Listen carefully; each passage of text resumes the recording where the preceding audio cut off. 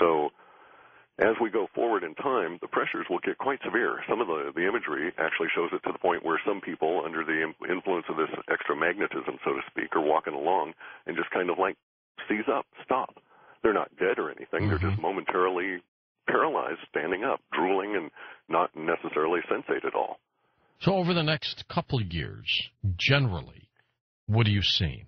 Is it going to be tough for us? Uh, As the toughest anybody has ever seen, so tough that people will make monuments to this time the way that, that others used to make monuments, you know, to the great Roman Empire, that kind of deal. So what we've gone through over the last six months or so is nothing compared to what's going to happen in the next couple of years? It, it's not even the warm-up act.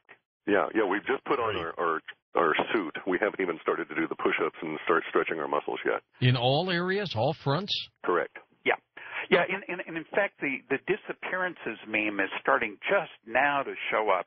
All of the folks who've the the cultural icons are rolling over, uh, even as we speak. I mean, we've got uh, uh, Farrah Fawcett passing, uh, uh, Billy Mays and Ed McMahon, Walter Cronkite just Cronkite, left us. Yeah, yeah, the whole list. And so, Michael Jackson, you can't forget about him. Oh yeah, I'm sorry, of course.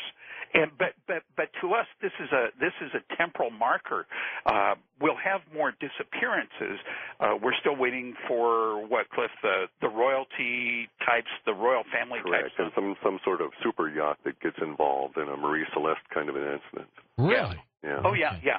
And, and we huh. had actually uh, again, this is prequel stuff, but much of the Air France 447 crash met some of of the linguistic expectations. But once again, like in the in the case of the uh, Columbia disaster, we have a very hard time linguistically separating events that happen on the ocean from events that happen with spacecraft and aircraft because they both have crews uh, and, and, there's just a lot of linguistics that uh, are used in both places. Uh, explain that a little bit more. What do you mean by that? Spaceships, marine ships, you know, transport ships, and they, they a lot of the terminology, of course, especially in the U.S., coming from the Navy and the Air Force, and the Air mm-hmm. Force so on, they, they replicate each other. So the linguistic structures for uh, those kinds of ships prowling around on the water are are replete with the same sort of language that we would see with uh, the spaceships of all kinds. Yeah, in fact, uh, some uh, aircraft and, and spaceships will use terms like uh, doing so many knots, for example, as a speed reference.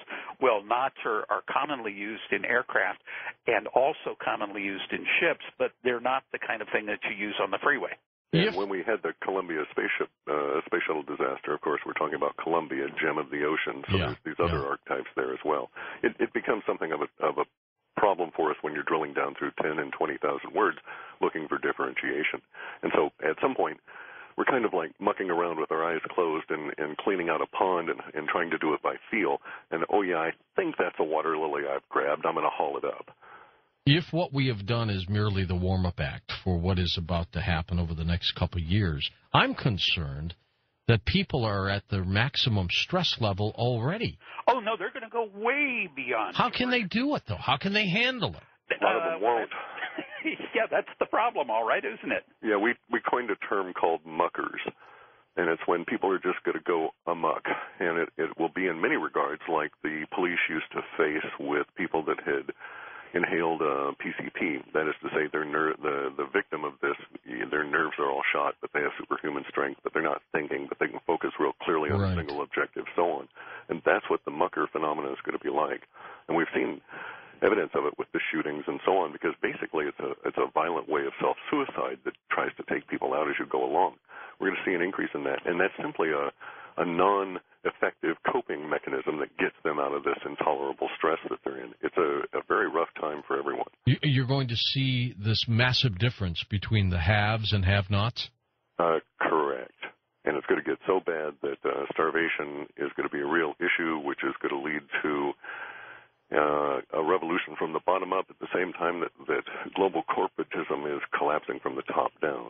And you're talking worldwide or just here? No, uh, globally, but there will be some places that are more secure than here in the U.S. But of course, basically what's happening is that the giant American empire is rotting out from the middle, and it's like a uh, pumpkin that is rotted out from the middle, and pretty soon the top and the bottom are going to meet, and, and as it collapses, and we're sort of where all the seeds and stuff used to be. Some parts of the world, George, will not have as far to fall because they are still relatively closer to self-sufficiency. Uh, the further you are up the uh, uh, the lifestyle Development ladder, yeah. food, food chain, yeah. I mean, it, it's, it's Cuba will be good.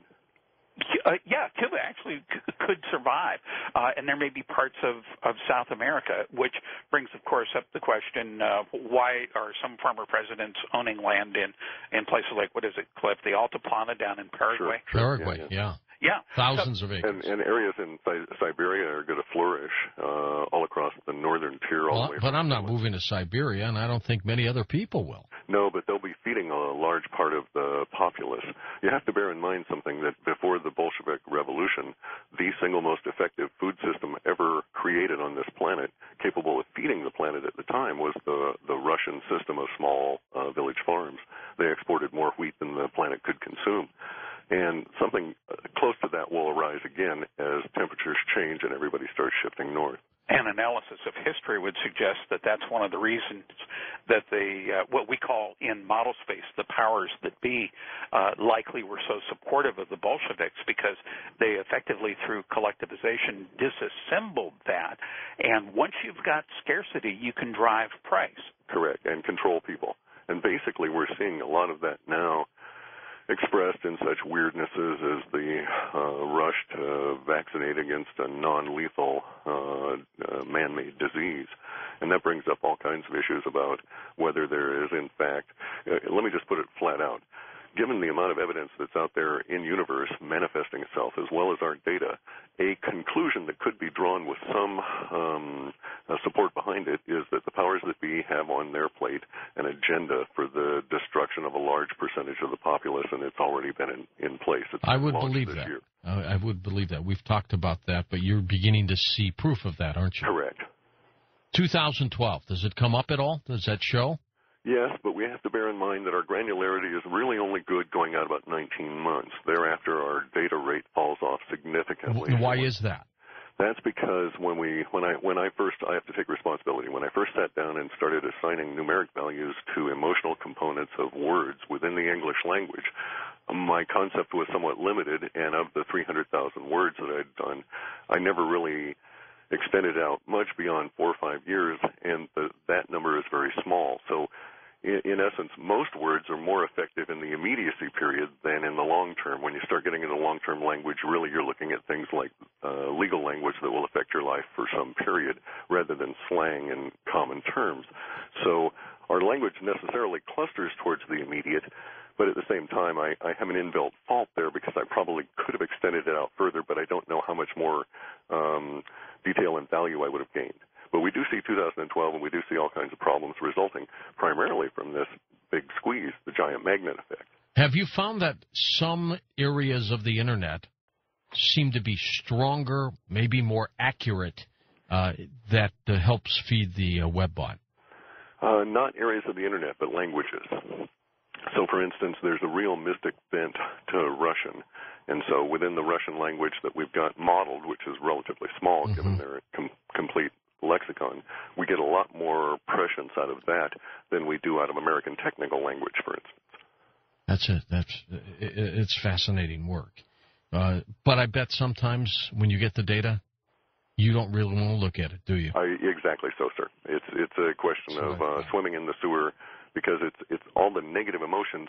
Again, an artifact of our processing. It's easier to find negative emotional psychic leaks than positive ones, and so we have a tendency to concentrate on the negative. I'm going to next hour throw out some various topics, and you tell me, uh, George and Clif, if they've shown up and what they mean to all of us. So, George, give us some websites here. some web I'm sorry Some of some of the websites that you have. oh my website Sure. Oh, urbansurvival.com. And uh, every morning at uh, 8 o'clock, I do a rundown on the economy and how the House of Cards is falling today. Uh, I, I often say that Clif's site, www.halfpasthuman.com, says that uh, here's when the sky is likely to fall, and urban survival is the uh, okay, here it comes. Here's the headline that says sky is falling, and Peoplenomics, which is my subscriber site, is if the sky is going to fall, here are some steps you may wish to consider in advance. So you just don't get hit. And we'll talk about that next hour when we come back on Coast to Coast AM. I'm George Noory.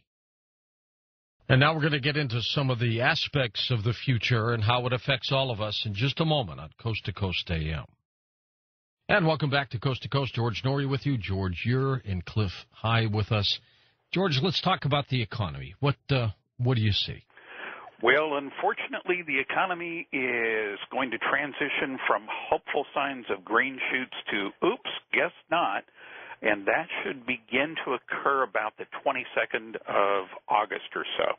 At that point, uh, something which will have actually started taking place in mid July ought to come to light. And from that point on, uh, the markets should begin to decline, accelerating around the 14th or so of September through the equinox on the 21st. And it's in that range that we start getting some indications that there may be a lockdown, uh, something like a bank holiday or market closures, mm. uh, something on that order.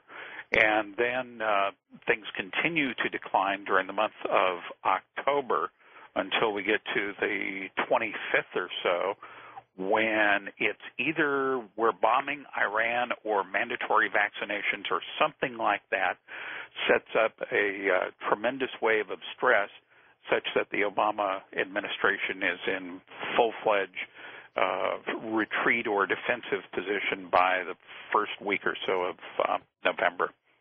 That's pretty soon. Yeah, and pretty grim. Yeah, and pretty grim. And pretty grim. What about North Korea? Do you see anything there?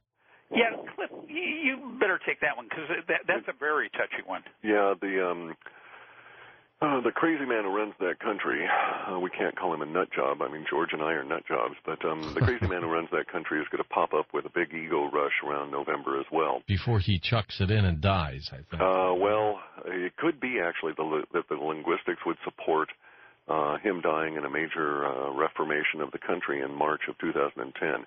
Basically, North Korea will be an active subject from about the same time that the Obama administration runs into their international crises in uh, the 5th or so of uh, November, and, uh, North Korea will continue to trouble us all through November, December, and up to March, and then they kind of fade.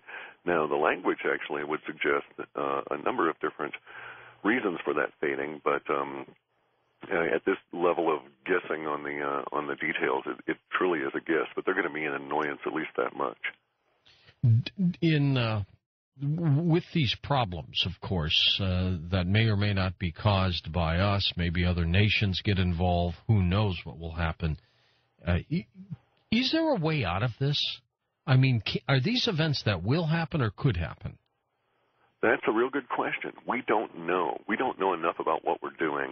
Uh, George calls this a time machine, but really it's it's not even the time machine. It's the power pack that that we should wrap a nice machine around, and all we've got is the power pack. Really, it could be that we're reading some form of uh, event that has already happened in in a near term template of the future, so to speak, that's being pressed upon us, or it could be that we're getting an impression of a probability, and it need not come out this way.